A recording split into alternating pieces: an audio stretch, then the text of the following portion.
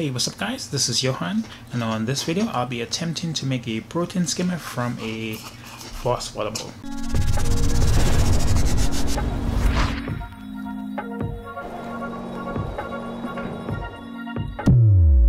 Alright guys, so I attempted this uh, a couple times before where I used the Voss water bottle. This is uh, one of the smaller ones and I did use a big one where I basically cut the bottom off and then I flip the top over drilled a hole right through there so it will act as the collection cup. And then I also drilled a hole um, right here so that I could put the airline tube in and then a um, limewood stone. So it will basically act as a limewood um, protein skimmer.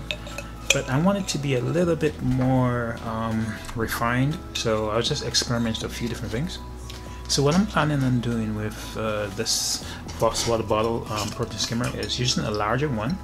And then I'm gonna first start off by drilling a hole at the bottom just with the regular drill saws drill hole hole saws that we use the diamond coated ones. And then um, I'm gonna insert the smaller Voss water bottle into that hole so it will act as a channel where the bubbles come up for the lime air stone um, and then basically create a siphon then it's going to channel it straight to the top where the collection cup is and then the water is going to come out of the smaller one go out the sides of the bigger one and then come out the bottom. So that is the plan that I'm working on today. So hopefully it works. So let's get started and see what we, what we come up with. Alright guys, I just want to go over a few things that I'm going to be using. Um, it's the diamond uh, hole saws. So I, I bought this one separate but this is an entire set and then I bought this one separate and also this one. Um, I'll put a link to those in the description if you want to pick some of those up. And then a drill a Voss bottle smaller Voss bottle uh, some airline tubing and a um, what you call it, uh, limewood airstone. There is one more thing that I want to use, but I can't find it at the moment. It is rigid um, airline hose, air, airline hose, or um, a rigid acrylic um, hose or acrylic drinking straws.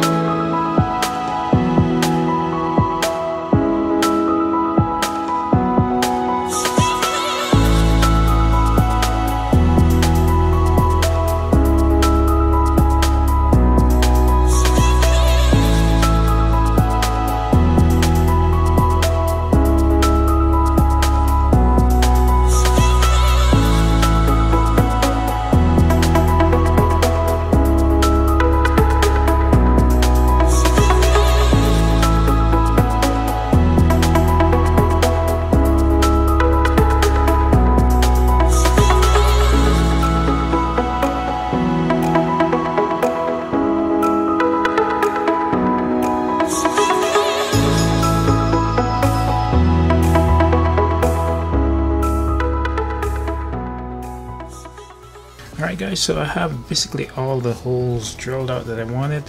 Uh, the two, one for the airline and then one for the acrylic tube that I'm going to put in here to um, just for leveling or keeping the center bottle straight inside the main bottle. And then, like I said, for the airline tubing.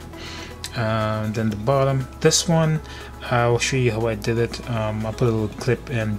It's basically taking a string, tying it around, dipping the string in some alcohol and wrapping it around the bottle, send, setting the string on fire and letting it burn for a little while and then dipping the bottle in some cold water and that just cracks this.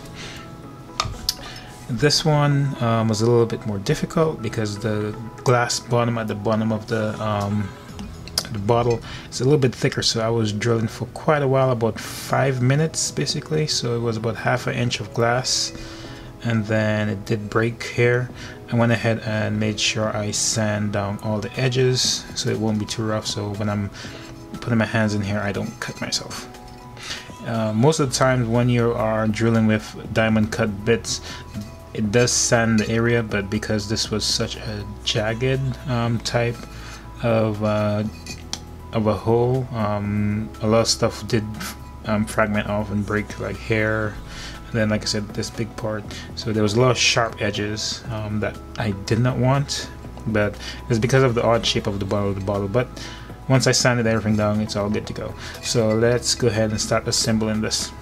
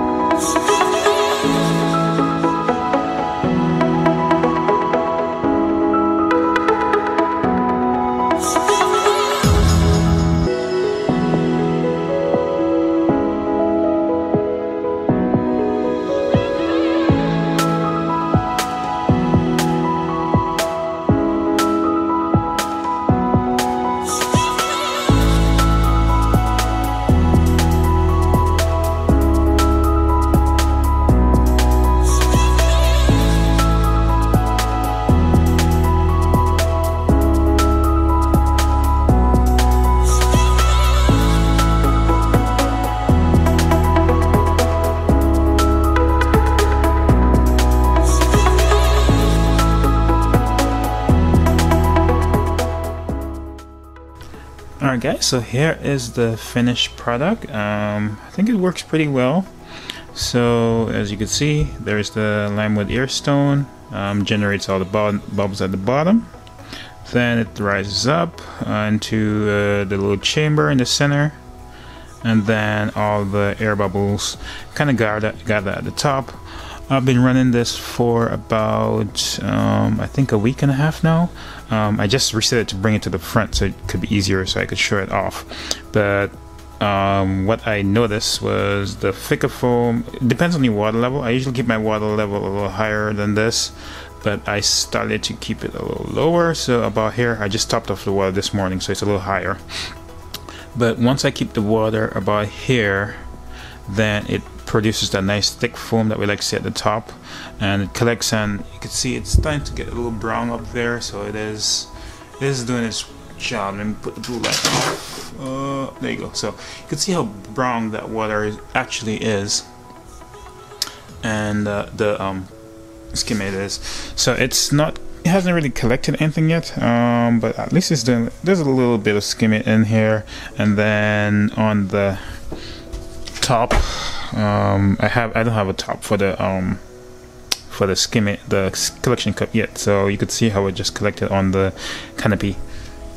So yeah guys it looks uh, good oh yeah um, one other thing I did uh, forget to mention when I was building it you're gonna need this uh, I added this um, you're gonna need one of these to at least adjust the amount of air you bring into the skimmer so that you could adjust your your bubble height. So it gives it a little bit more adjustability. And you can see I could ramp it down or turn it all the way off. And open it a little bit. So I did use a glass bottle but you could do the same thing with a plastic bottle.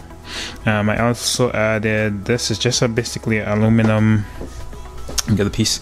This aluminum um, a sheet of aluminum, a skinny little piece of aluminum that I bought at the local hardware store.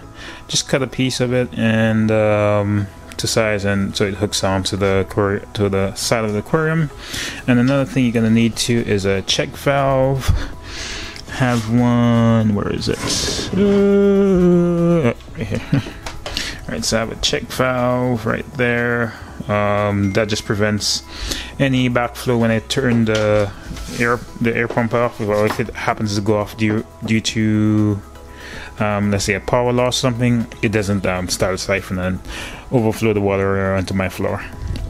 Yeah, so for the most part, I think I like it. Um, it does produce a little bit of bubbles in the water. Um, the fish don't mind, it's just the corals. So, I mean, so that you can see all the bubbles. So, um, it's still breaking in, I think, um, and I just gotta leave it let it run for another week or two, and then it should do its thing.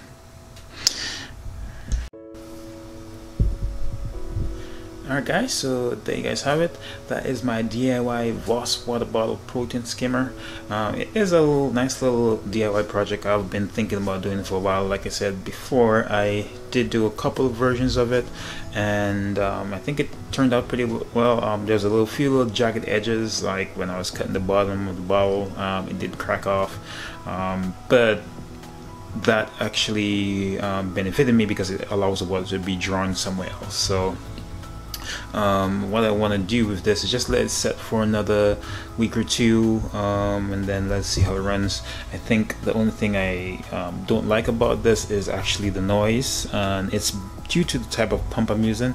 It is the whisper the blue whisper one so I might just get a different air pump that's a little bit more quiet quieter or more less noisy and that way I could at least have it because this is in my office and um, my office is generally quiet um, besides the little hum of one of the pumps that's on the um, I mean the power heads that's on the office tank you don't really hear that much noise. You might hear my computer um, fans going but not too much noise. Yeah guys that pretty much wraps it up for this video. If you like it go ahead and hit the like button down below and also remember to subscribe. I'll catch you guys in the next one